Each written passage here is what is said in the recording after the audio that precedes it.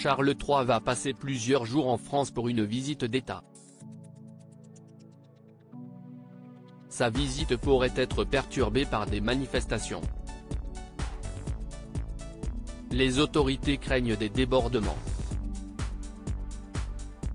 Pour sa première visite d'État en tant que roi d'Angleterre, Charles III a choisi la France.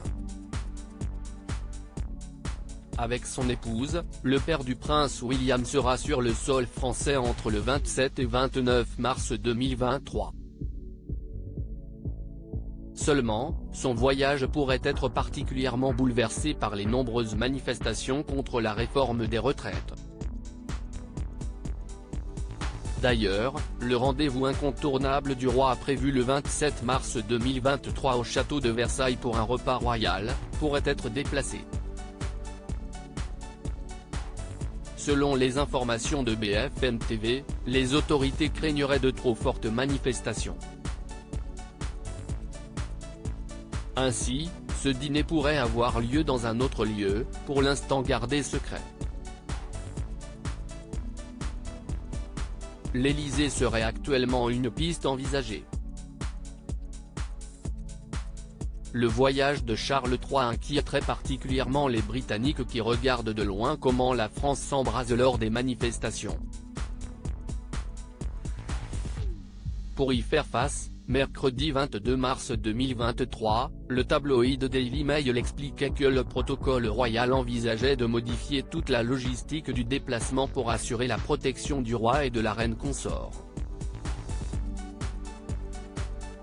Des assistants royaux ont ainsi pris conseil auprès du ministère britannique des Affaires étrangères et des autorités françaises, rapportent encore nos confrères de BFM TV.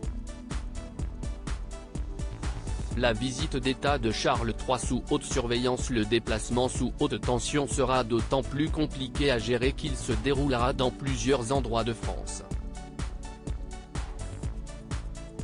Tout d'abord à Paris, dans la capitale, où Charles III est attendu sous l'Arc de Triomphe ou encore au musée d'Orsay. Seulement, il devra également prendre le train pour se rendre à Bordeaux. Pour assurer sa sécurité, toujours selon BFM TV, 100% des fonctionnaires de la direction de l'ordre public et de la circulation de la préfecture de police de Paris ont été rappelés pour cette visite d'État.